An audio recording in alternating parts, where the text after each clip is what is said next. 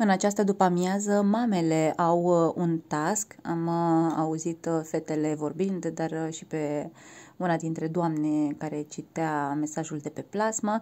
Au un task de gătit, pot să gătească orice. Fetele sunt cele care jurizează și mama câștigătoare am înțeles că ar avea două ore de shopping. În timp ce se citea mesajul pe plasmă, era camera pe Ioana, dar am auzit-o pe doamna Anina spunând a, nu, cu tot respectul, nu, probabil nu dorește să participe la task sau uh, poate avea o discuție cu cineva acolo în living și acesta a fost uh, răspunsul uh, dumneai ei. Vom vedea ce vor găti mamele, cine este mama câștigătoare și um, cea care implicit se va bucura de um, acest premiu.